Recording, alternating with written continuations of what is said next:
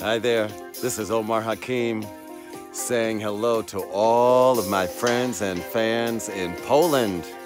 How are you guys doing? Guess what? I'm coming to Poland soon and I'm bringing a really cool band.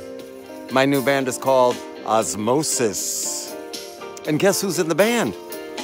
Rachel Z on keys, Kurt Rosenwinkel on guitar, Linley Marthe on bass, and yours truly, Omar Hakim on the drums.